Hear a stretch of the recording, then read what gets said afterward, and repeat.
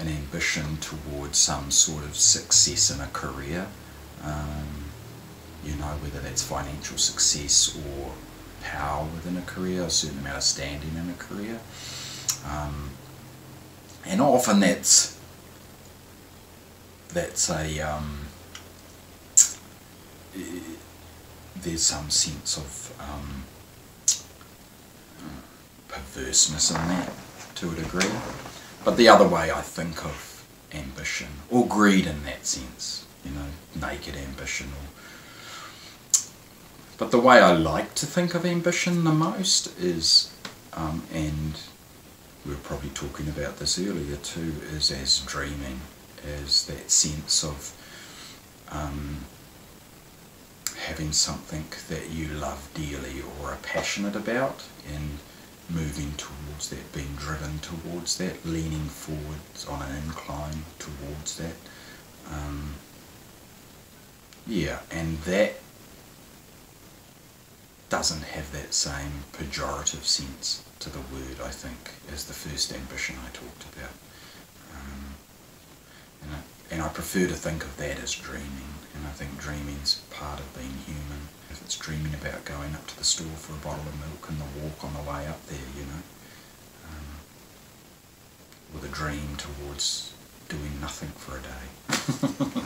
um, can be small, tiny, local dreams for a day, uh, for the week, um, or for a life, things that want to be achieved or experienced. You can look at it two ways. It's my job as a poet to dream but more so I suspect I dreamed, therefore I ended up a poet, you know, and I just finished writing a poem, and and one of the lines is poetry and medicine are both the sons of dreaming, and because they both come from that same, well, medicine for me now comes from that same place as of dreaming as poetry. Um, both ways of trying to know something, understand something. Um, I'm not much of the first ambition. I wish I kind of was sometimes. Um, yeah, not so much. The older and uglier I get, I think, the less ambitious I am uh, in terms of, you know, uh, running the world.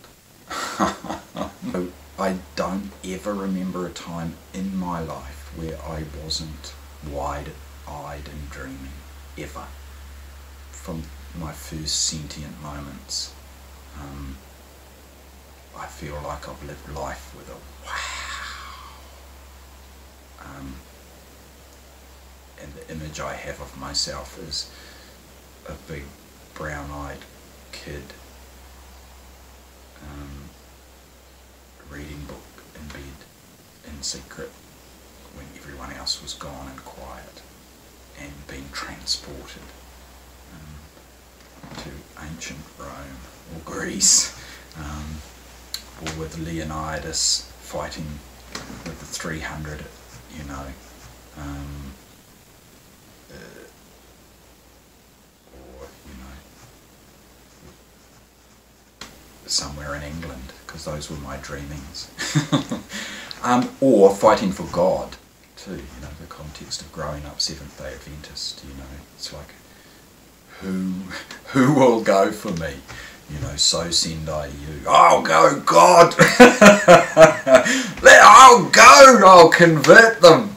Um, that was a powerful dreaming too. So, you know, all, so that that that was encouraged. So I grew up in a, a dreaming, encouraging, you know, a dream encouraging culture in that sense. And I talked earlier, I think of my mum, who was the least ambitious in that sense of the word person that I know, and yet saves her pension to help take us on holidays, regardless of if it, of us trying to pay that. But she lives her life tip forward to that dreaming that she's we're going to go on a holiday and the family's going to gather around her and we're going to laugh and have fun and it's going to be warm and and she still insists on paying for us like like we're five years old, you know, going up to the shop for a lolly.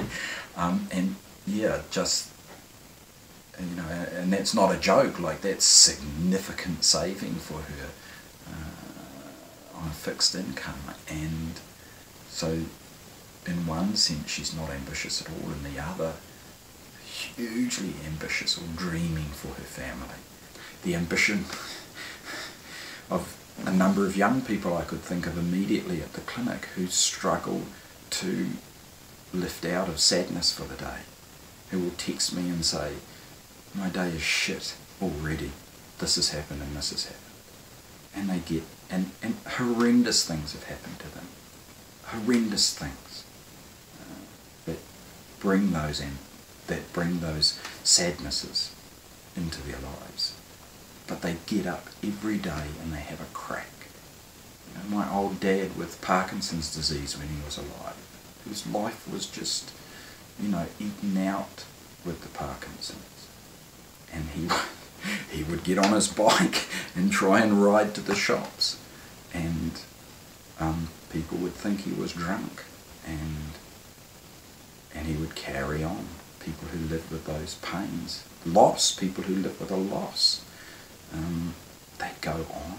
That's um, that's a dreaming. That's an ambition to st- standing still. Sometimes for people is an ambition, not to be drowned. So I see it in the context of medicine. Sometimes I think that's the bravest ambition of all. It's like the refusal to die, a refusal to to give in to the waves of sorrow. Although I'm vain enough to want to be a great poet, a great political leader, a fabulously wealthy businessman, and an all black. I could do all those as well. I've come to terms and to grow my hair back. How's that? To be to, to have a mullet. That would be a, a, a great ambition, or just to have hair that I could do something with. But the most ruthless, ruthless ambition I can't stress enough is for the poem, the poem, the poem, the poem, the poem to make it light. And I, I, look, I get it wrong so often, but now and then, to make a thing sing, I know of nothing that gives me greater pleasure, nor occupies my thinking so often. And I'll go on in my life, being a doctor, being a dad, mowing the lawns, water blasting the house, being a son and a brother, um, having opinions, being a big mouth. All the time, that's that big compared to this much dreaming about the poem always.